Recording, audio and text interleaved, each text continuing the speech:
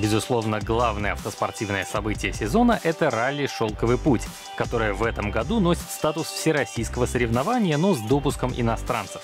Маршрут проложен из Астрахани в Москву через Грозный, Элисту, Волгоград и Воронеж. Именно этот марафон станет местом удивительного камбэка.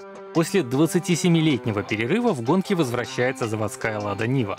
Рейдовый внедорожник построен всего несколько месяцев назад по требованиям категории Т2. По э, сравнению с серийным автомобилем мы поработали, э, само собой, с двигателем, то есть мы увеличили степень сжатия, мы заменили коленвал. Э, у нас сейчас двигатель объемом 1,8 литра, но это восьмиклапанный нивовский мотор, это не, не мотор ответственный, как некоторые предполагают. Да, э, получили мощность приблизительно 120 лошадиных сил. Мы изменили трансмиссию, то есть все шестерни были заменены на прямозубые вместо косозубых и кулачковые муфты вместо синхронизаторов цветных, так скажем.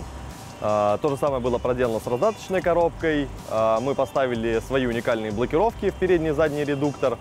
Э, мы поработали над подвеской, то есть геометрия шасси, рычаги, мост, все тяги были сохранены, но мы изменили компоновку пружины и амортизатора. Готовясь к шелковому пути, команда отправилась на разведку на Ульяновскую Баху-Симбирский тракт.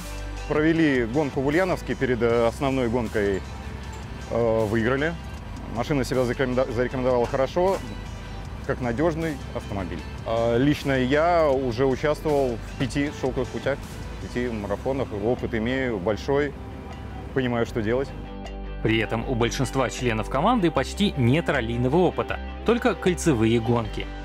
Здесь огромная дистанция, здесь дорога в основном, ну, пересеченная местность или такие проселочные дороги или направления.